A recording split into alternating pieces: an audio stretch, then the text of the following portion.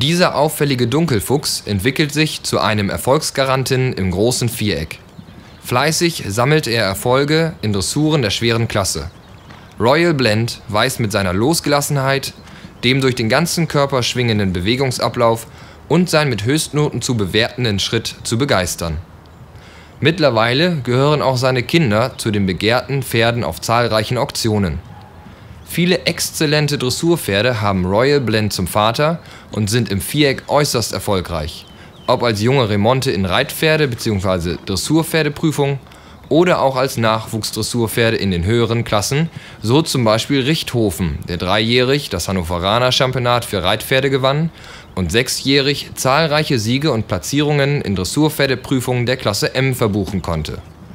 Royal Blend geht zurück auf den sehr erfolgreichen Stutenstamm der Antipathie. Zahlreiche S-erfolgreiche Dressurpferde entspringen diesem Stamm, so zum Beispiel Fürst Kevenhüller von Florestan I oder Rigoletto von Rosenkavalier. Die Mischung aus dem bewährten Rubinsteinblut über Rotspon und Lowrys Crusader auf der Mutterseite steht für Rittigkeit und Charakter, Leistungsbereitschaft und Ausdauer. Royal Blend – die königliche Mischung aus Leistungsbereitschaft und einem starken Charakter